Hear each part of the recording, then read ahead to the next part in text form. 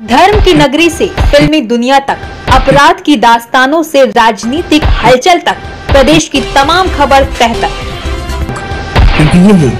India post news जज्बा सच दिखाने का। घर के लिए जा रहा वृद्ध साइकिल समेत नाले में गिरा, मौके पर मौत। प्रयागराज के हंडिया बाज़ार में आया एक वृद्ध घर के लिए वापस जा रहा था। जैसे ही हंडिया थाना क्षेत्र के बासुपुर तालाब के पास पहुँचा, ही था कि नेशनल हाईवे के बगल बने नाले में गिरकर उसकी मौत हो गई।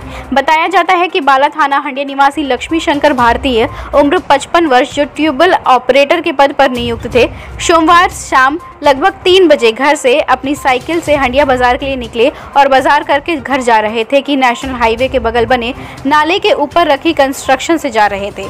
जैसे ही बासुपुर तालाब के समीप पहुँचे, ही थे कि अचानक आगे नाले में कंस्ट्रक्शन नहीं हुआ था, जिसमें वहाँ साइकिल समेत समा गए और गंभीर रूप चोट आई। घटना लगभग 10 बजे रात की है।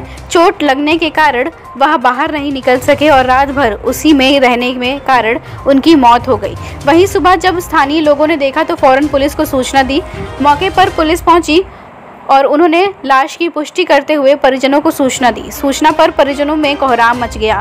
पुलिस ने शव को कब्जे में लेकर पीएम के लिए भेज दिया। वहीं ग्रामीणों ने नाले पर रखा गया कंस्ट्रक्शन के प्रति आक्रोश व्याप्त है। अधिकारियों की लापरवाही से आज एक वृद्ध की जान चली गई, फिर भी उनके कानों में जू नहीं रेंग रही है। मृतक के पाँच लड़के हैं और पाँच लड़कियाँ हैं जिसमें से एक लड़की की शादी हो चुकी है। लक्ष्मी शंकर की मौत से उनकी पत्नी समेत परिजनों का रो रो कर बुरा हाल है।